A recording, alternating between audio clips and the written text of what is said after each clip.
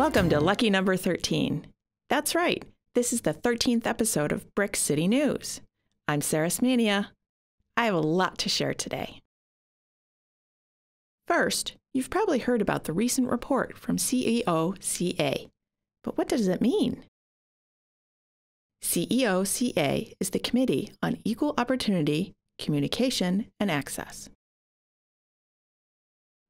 It was formed by President Buckley to address student concerns about communication access and language choice. CEOCA submitted 11 recommendations to Dr. Buckley.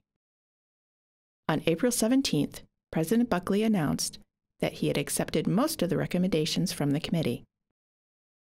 You can see all of the recommendations and President Buckley's response on the President's website. In January 2017, RIT President Bill Destler and NTID President Gerry Buckley established a presidential commission on the NTID student experience. They charged the Commission with reviewing student related policies, practices, and programs at NTID and developing recommendations to enhance student experience and to ensure student success. The Commission looked specifically at four areas in their process shared governance, student support services, diversity initiatives, and administrative processes. President Destler and President Buckley reviewed the 14 recommendations submitted by the Commission and approved 13 as submitted and one with modifications. More information is available on the NTID President's website.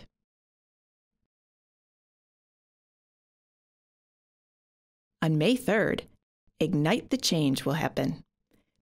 This event focuses on domestic violence, sexual assault, and accountability in relationships. This is a very important topic for everyone. That's why Delta Sigma Phi is partnering with FEMCO, a feminist student group here on campus, to provide this event.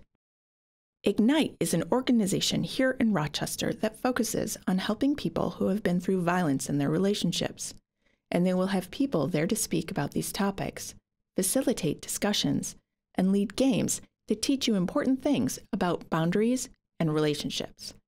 Even if you're in a good relationship or are single, you should check it out. Ignite the Change will happen on Wednesday, May 3rd from 6:30 p.m. to 8:30 p.m. in the SDC 1300-1310. Food and interpreters will be provided. It's that time of year. Dyer Art Center hosts many student exhibits during April and May. Several BFA seniors are exhibiting their thesis shows, including Tammy Wells, who is deaf. Her show will run from April 28th to May 20th, with an opening reception on Friday, April 28th from 5 p.m. to 7 p.m. in the Dyer Arts Center. Another big exhibit by students will come from the Visual Communication Studies program here at NTID. Their honors exhibition will also run from April 28th to May 20th, and there will be a reception on Thursday, May 4th from 4 to 6 p.m. Come see what the best of NTID's student artists are doing. For more information about the exhibit schedule, visit this website below. The spring semester is almost over. Whew! The first two weeks of May are always busy for the entire campus. Graduation is in sight, and everyone's running around.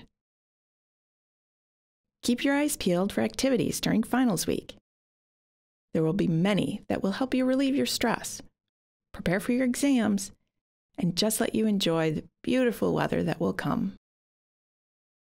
If you're new to RIT NTID, commencement has many different parts to it. RIT is a large school. First, you should know that NTID will be the first to have its graduation ceremony this year. NTID ceremony will be on Friday, May 19th at 3:30 p.m. in the Gene Polisseni Center. You will not need any tickets to get in. Second, the University of Rochester is also having its graduation on that weekend. So if you have family coming, they should book their hotels and make sure everything's ready to go right now. Third, I will be graduating. Yes, I'm graduating this year. Right now, I'm focused on several projects and completing my application for graduate school here at RIT.